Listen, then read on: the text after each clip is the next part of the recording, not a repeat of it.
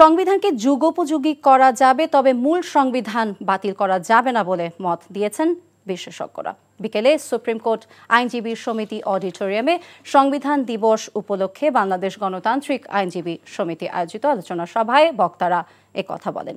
নানা সংস্কার প্রসঙ্গে বিশিষ্টজনরা বলেন, অনির্বাচিত সরকার সংস্কার করতে পারে না, তারা পরামর্শ দিতে পারে। নির্বাচিত সরকার এসে সেসব বাস্তবায়নে কাজ করবে। একের পর এক দিবস বাতিল করারও সমালোচনা করেন তারা। জাতির ইতিহাস মুছে ফেলার চেষ্টা করলে ইতিহাসই তার জবাব দেবে বলে মন্তব্য করেন বক্তারা।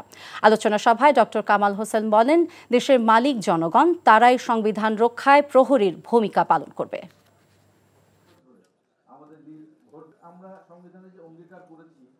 যেভাবে সংবিধান ব্যাখ্যা করা হচ্ছে, যেভাবে কোর্টে এটাকে ব্যাখ্যা করা হচ্ছে, যেভাবে সরকার এটাকে ব্যাখ্যা করছে নিজের কাজের মধ্যে দিয়ে, সব ব্যাপারে কিন্তু তাদেরকে সতর্ক থাকতে হবে। সংবিধান হলো জনগণের জন্য এবং জনগণই এটার হেফাজত করে করার দায়িত্ব রাখে। অনেকেই বলছেন এখন দ্বিকক্ষ বিশিষ্ট পার্লামেন্ট লাগবে।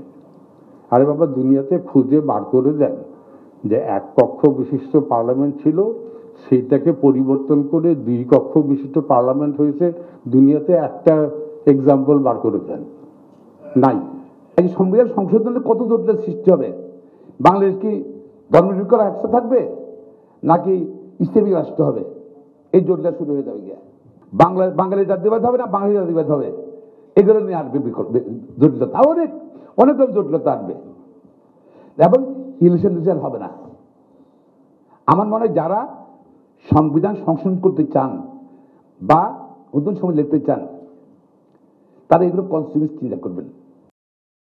টাকা চুরির জন্য যদি আমার গলায় জুতার মালা পরাইতে হয়, তাহলে আমার শালির সাথে প্রতারণা করার জন্য তোর ফাঁসি হবে। দুলা ভাই আপনার তো ঘর জামাই বইলা একটা পরিচয় আছে আমার তো তাও নাই।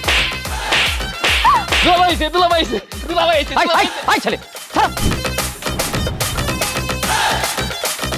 রাজনৈতিক ফ্যামিলির মেয়ে হয়ে ওই কাজ করবে। যারে পাবো আরে পিটাবো রক্তের নেশায় ধরতে রক্তের নেশায় কাঁচা রক্তের নেশায় ধরতে